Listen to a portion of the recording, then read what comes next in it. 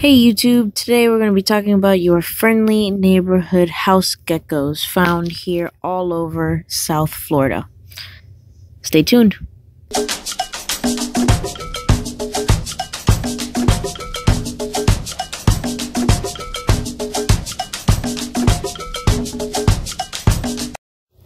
So house gecko species like the common house gecko, Mediterranean house gecko, tropical house geckos, and many, many others are really hard to tell apart sometimes. And they're known as ecomorphs, meaning they've developed a lot of the similar morphology, uh, being in the same area, but are not originally the same species. So we have several types of house geckos from different places, all right here in South Florida.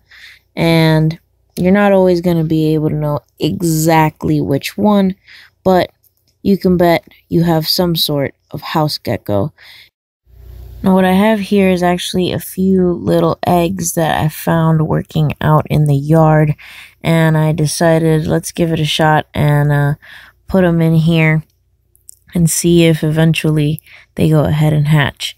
And sure enough, it's been about a month, and uh, two of them finally hatched. So these little guys you see here are two little house gecko hatchlings. Um, now, uh, obviously, this is an oviparous species, um, and these females can lay about two eggs at a time.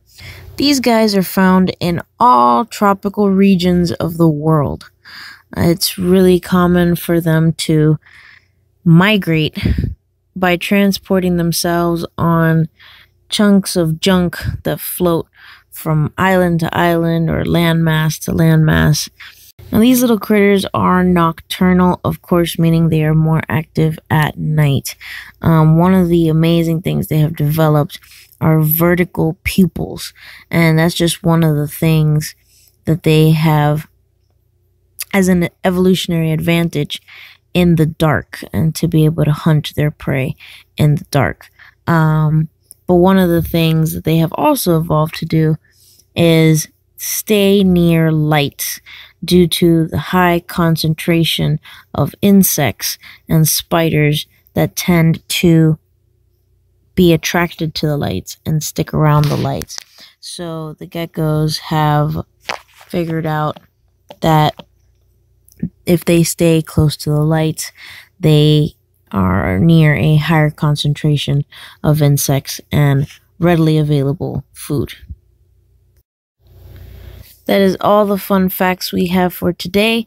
But as always, I hope you like and subscribe. And if you have any questions or comments, please feel free to write them in the comment section below. Have a great one, folks.